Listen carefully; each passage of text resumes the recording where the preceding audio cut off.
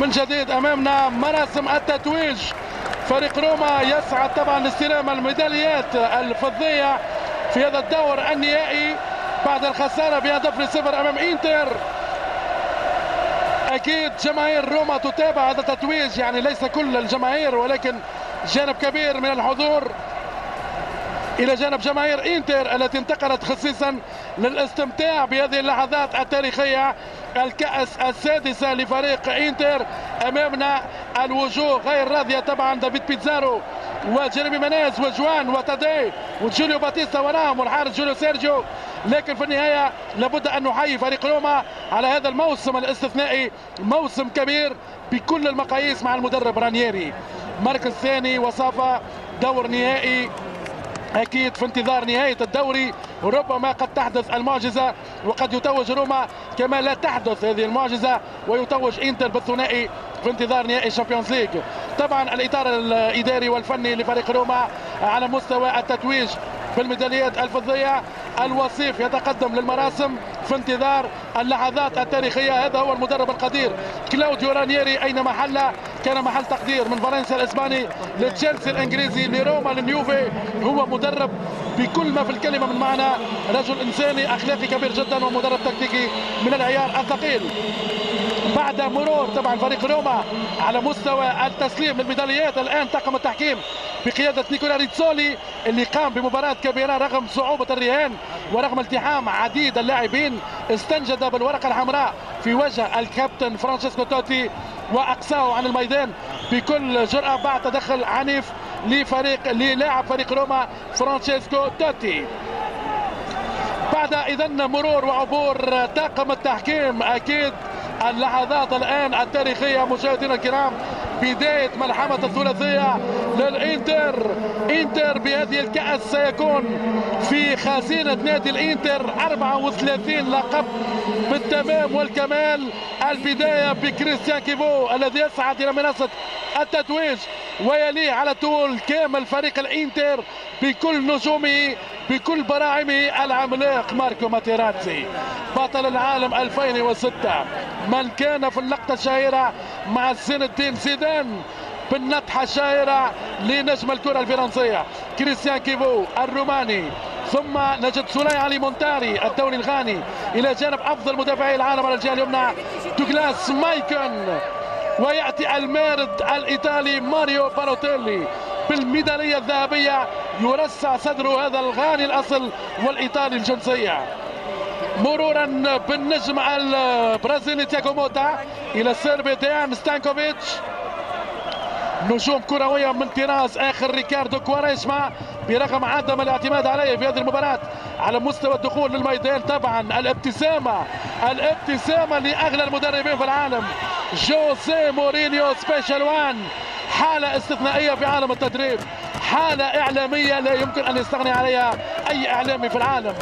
الفرحة الكبرى في اللحظات الحاسمة أمامنا مشاهدينا متابعينا الإنتر على أعلى سطح الكرة الإيطالية بمناسبة الأميرة الإيطالية في هذا الموسم 2009 2010 17 لقب البطولة خمس مرات بكأس إيطاليا وهذه السادسة.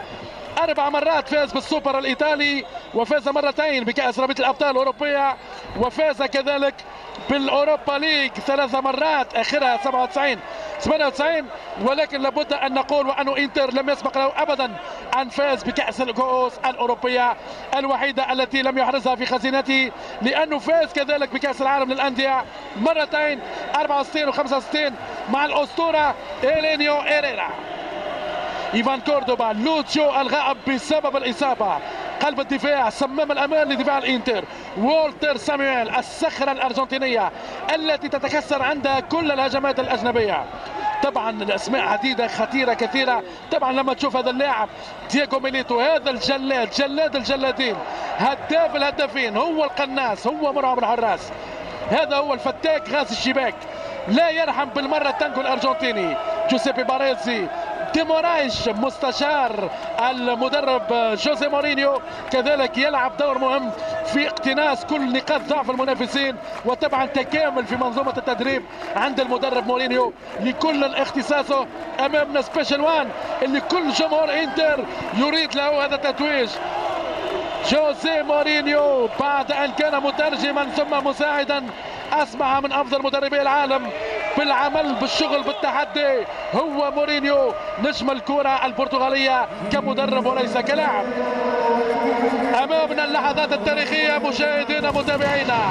الاميرة الايطالية ليلة القبض عليها في العاصمة من طرف إنتر من كتيبة كوماندوس المدرب جوزي مورينيو. الاحتفال الاحتفال ولا شيء غير الاحتفال هذه هي الاحتفالات.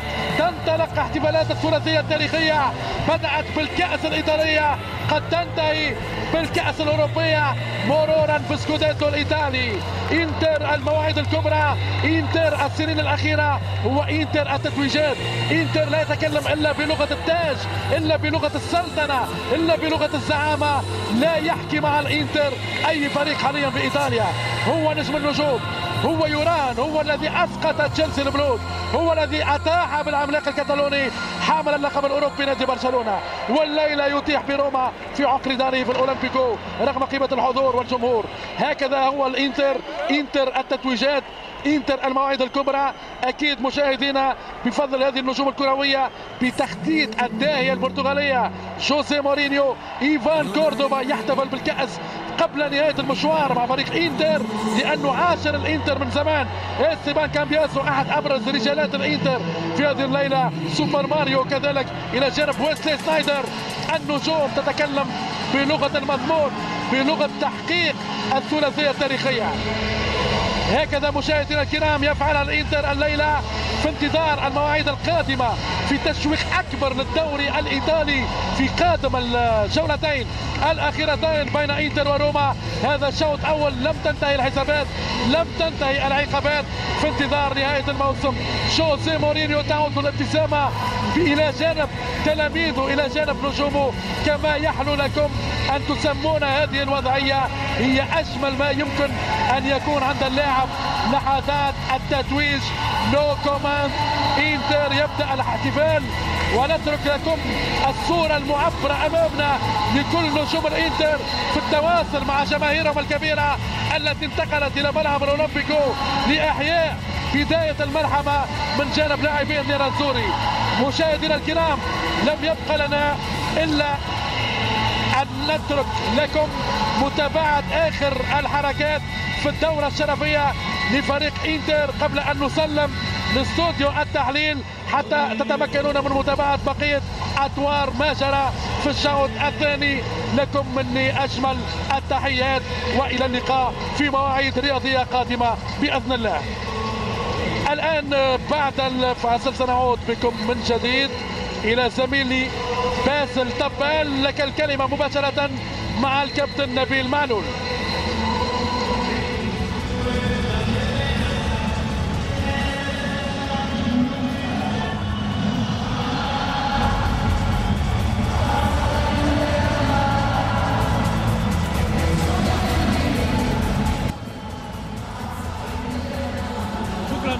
لزميلين راؤول كليف ومحمد بركات. إذا نعود إلى ملعب استاديو اولمبيكو هنا في روما والتتويج الكبير لنادي الإنتر ورفع الكاس من قبل اللاعب خاوير زانيتي وهو اللقب الثالث لمورينيو مع الإنتر بعد كأس السوبر وكذلك الدوري في العام الماضي.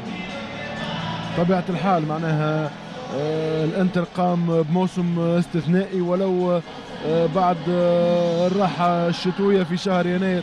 تراجع شوية المردود خلى فريق روما بعد ما كان معناها متقدم على فريق روما ب 14 نقطة. فريق روما يقلص الفارق لكن مورينو دائما يقول إحنا موجودين باش نلعب على الواجهات الكل على البطولة والكأس وال Champions League هذا الشيء اللي صار. أهم شيء هو التتويجات في نهاية المطاف.